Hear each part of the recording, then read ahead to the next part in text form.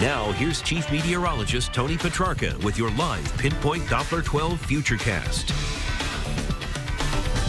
Well, Pete and I have been uh, keeping an eye on Doppler radar, some isolated showers, even some thunderstorms. So let's take a look. There have been some uh, downpours, and while these storms are not con considered severe, meaning large hail, damaging wind, we did have one report of some small pea-sized hail in Burrillville about 15, 20 minutes ago. So let's kind of take a radar tour. See, one batch that came through Providence a little while ago is weakening as it head towards New Bedford, but the more uh, generous downpours and even some isolated thunderstorms in the northern part of the state, the areas of orange and red indicating some downpours and the rumble of thunder getting even closer. This is now crossing Route 295, so more than likely slowing down traffic. Here's Providence Metro. So this will be coming through the Providence Metro area very shortly, getting real close.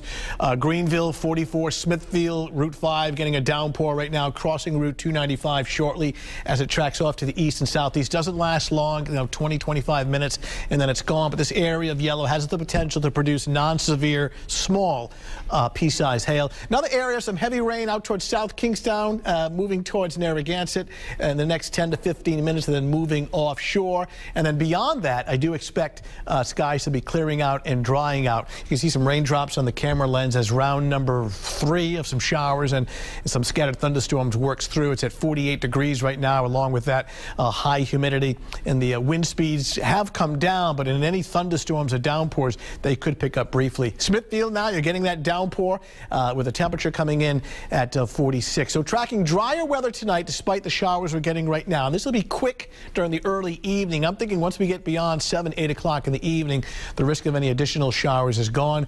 Gusty winds going to be a factor over the next several days, including tomorrow through Sunday. In fact, some of the strongest winds may actually occur over the weekend on Sunday, and we still have rain coming up for part not the entire, but part of the weekend. High pressure builds in for tomorrow. That means uh, some sunshine coming up. And overall, your Friday, despite a windy day, is looking pretty good. Temperatures upstream are chilly, but uh, seasonably cool. So we expect temperatures tomorrow afternoon to be topping out mid and upper 40s. So once we get beyond 7, 8 o'clock this evening, the risk of any showers or thunderstorms coming to an end. Your Friday is windy and cool. Most of Saturday day, the daylight hours, especially in the morning, is actually dry. We're thinking Saturday evening, Saturday night, the best chance for rain. Leftover showers Sunday morning, drying out Sunday afternoon. Temperature at around 52. Heading out next couple of hours, obviously, still keep the umbrella on standby. All right, thanks, Tony. You